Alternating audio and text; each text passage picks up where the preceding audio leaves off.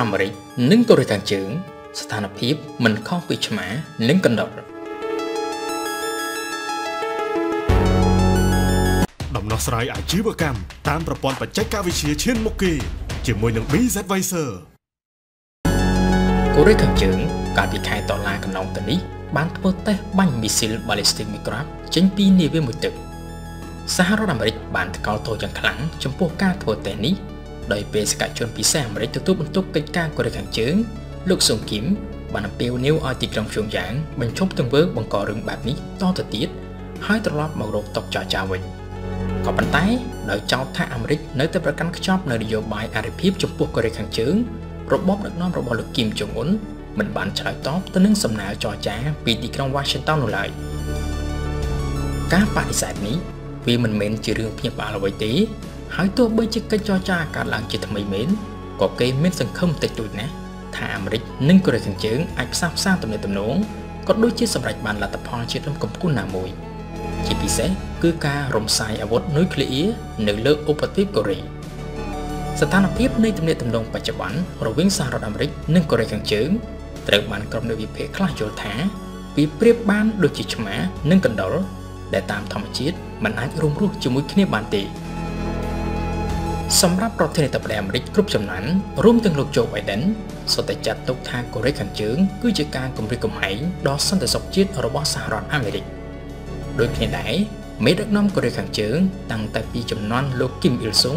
និងលោកគីមចុងអ៊ីលរហូតមកទល់នឹងលោកគីមចុងអ៊ុន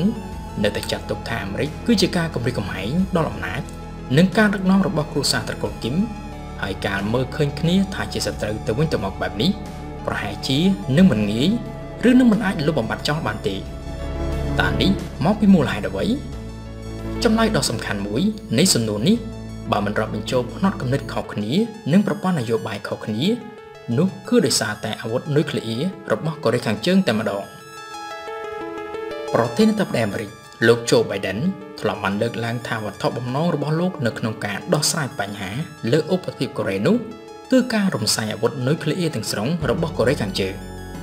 គោលនយោបាយបែបនេះបានបរាជ័យកាលពីអតីតកាលហើយនឹងនៅតែបន្តបរាជ័យនៅពេលអនាគតពីព្រោះថាអាវុធនុយក្លេអ៊ែរត្រូវបានលោកគីមចុងអ៊ុនចាត់ទុកថាជាចំណុចស្លាប់រស់នៃរបបដឹកនាំរបស់លោកនិងអនាគតគ្រួសារត្រកូលគីមតើគេអាចនិយាយថាកូរ៉េខាងជើង គឺជាប្រទេសដែលមានហេតុផលបានដែរឬទេអ្វីបើជាប្រទេសប្រជាការក៏ប៉ុន្តែពេលខ្លះកូរ៉េខាងជើងក៏មានហេតុផលត្រឹមត្រូវរបស់ខ្លួនដែរ សហរដ្ឋអាមេរិកបានបញ្ជាក់ម្ដងហើយម្ដងទៀតថាការរំសាយអាវុធនុយក្លេអ៊ែរទាំងស្រុងរបស់កូរ៉េខាងជើងគឺជាគោលដៅដ៏សំខាន់មួយមិនអាចខ្វះបាននៅក្នុងកិច្ចចរចាជាមួយនឹងកូរ៉េខាងជើងក៏ប៉ុន្តែសម្រាប់ទីក្រុងព្យុងយ៉ាងឃ្លាដែលថារំសាយអាវុធនុយក្លេអ៊ែរទាំងស្រុងរបស់កូរ៉េខាងជើងនិងរំសាយអាវុធនុយក្លេអ៊ែរទៅលើឧបទ្វីបកូរ៉េមានន័យខុសគ្នាស្រឡះការរំសាយអាវុធនុយក្លេអ៊ែរនៅលើឧបទ្វីបកូរ៉េ ត្រូវបានកូរ៉េខាងជើងបកស្រាយថាជាការរំសាយរាល់អាវុធនុយក្លេអ៊ែររួមទាំងប្រព័ន្ធមីស៊ីលសព្វាវុធនិងកងទ័ពដែលអាមេរិកបានដាក់ពង្រាយនៅលើឧបទ្វីបកូរ៉េរីឯការរំសាយអាវុធនុយក្លេអ៊ែរទាំងស្រុងរបស់កូរ៉េខាងជើង មានន័យយ៉ាងសាមញ្ញថារំសាយតែអាវុធនុយក្លេអ៊ែររបស់កូរ៉េខាងជើងតែប៉ុណ្ណោះនៅក្នុងន័យនេះកូរ៉េខាងជើងចង់បញ្ជាក់ថាបើខ្លួនបោះបង់ចោលអាវុធនុយក្លេអ៊ែរហើយ តែកងទ័ពនិងប្រព័ន្ធមីស៊ីលរបស់អាមេរិកនៅតែបន្តដាក់ពង្រាយនៅលើទឹកដីកូរ៉េខាងត្បូងនោះវានឹងក្លាយទៅជាការគំរាមកំហែងដ៏ធំបំផុតដល់របបដឹកនាំរបស់លោកគីមចុងអ៊ុនមែនទែនទៅទាំងអាមេរិកនិងកូរ៉េខាងជើងសុទ្ធតែបានដាក់លក្ខខណ្ឌមិនអាចធ្វើបានឲ្យគ្នាទៅវិញទៅមកដោយអាមេរិកមិនអាចដកបរិខាយោធានិងកងទ័ពចេញពីកូរ៉េខាងត្បូង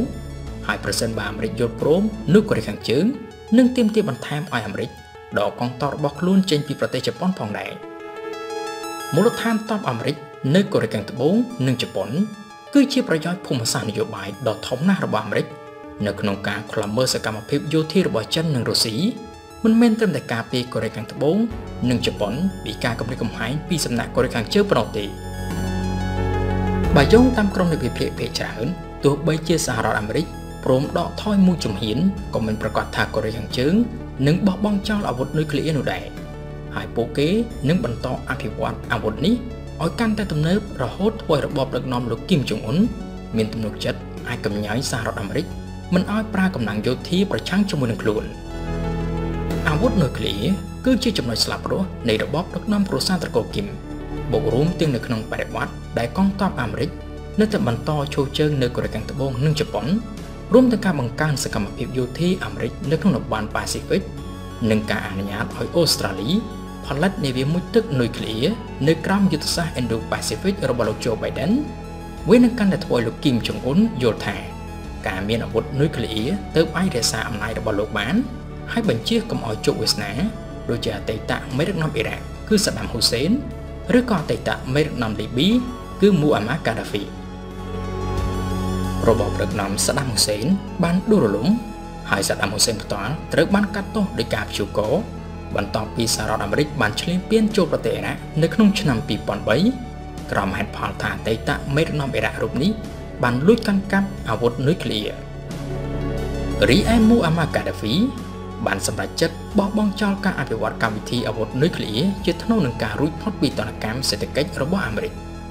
នៅចុងបញ្ចប់ កាដាហ្វីត្រូវបានក្រុមអូទីមដែលគ្រប់គ្រងអន្តរាគមដោយយុទ្ធអង្គការ NATO កាលពីឆ្នាំ2011បាញ់សម្លាប់ចោលលើពីនេះទៅទៀតនៅពេលដែលអតីតទីប្រឹក្សាសន្តិសុខជាតិអាមេរិកគឺលោក John Bolton ផ្ដល់អនុសាសន៍កាលពីឆ្នាំ2008ឲ្យរដ្ឋបាលលោក Donald Trump យកគំរូធ្វើអន្តរាគមយោធានៅលីប៊ីទៅអនុវត្តជាថ្មីនៅលើកូរ៉េខាងជើងនោះវាកាន់តែធ្វើឲ្យទីក្រុងភ្យុងយ៉ាងជឿជាក់ថាតើតែមានអាវុធនុយក្លេអ៊ែរដ៏ខ្លាំងក្លា ទើបអាចកម្ញាញសហរដ្ឋអាមេរិកបានទើបអាចធានាបាន ថាកូរ៉េខាងជើងនឹងមិនមានវាសនាដូចជាលីប៊ីនិងអ៊ីរ៉ាក់គូបញ្ជាក់ថាសប្តាហ៍ថ្ងៃនេះកូរ៉េខាងជើងត្រូវបានគេជឿជាក់ថាកំពុងស្តុកទុកក្បាលគ្រាប់នុយក្លេអ៊ែរពី25ទៅ50គ្រាប់ក៏ប៉ុន្តែបើតាមវិទ្យាស្ថានអាមេរិក Rand Corporation កូរ៉េខាងជើងអាចនឹងផលិតបានក្បាលគ្រាប់នុយក្លេអ៊ែរចំនួន200គ្រាប់នៅត្រឹមឆ្នាំ2027ដែលអាចនឹងធ្វើឲ្យប្រទេសឯកាមួយនេះ คล้ายទៅជារដ្ឋនុយក្លេអ៊ែរកម្រិតមធ្យម។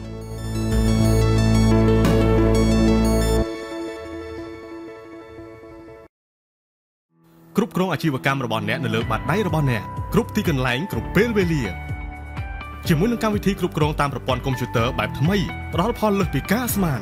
ពួកយើងធានាផ្ដល់មកវិញនូវលទ្ធផលល្អគប់ចិត្តដែលអ្នកមិនធ្លាប់មានដោយការលុបបំបាត់បញ្ហារ៉ាំរ៉ៃដែលកំពុងនាំញីក្នុងអាជីវកម្មរបស់លោកអ្នក ជាមួយកម្មវិធីគ្រប់គ្រងល្អដាច់គេនៅក្នុងប្រទេសកម្ពុជា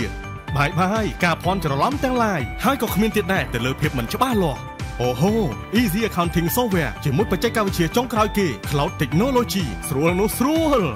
រងចាំដល់ណាទៀតតាក់ទងមក BZ Advisor នៅពេលនេះដើម្បីជំរុញប្រាក់ចំណេញអាជីវកម្មរបស់លោកអ្នកឲ្យកើនឡើងទ្វេដង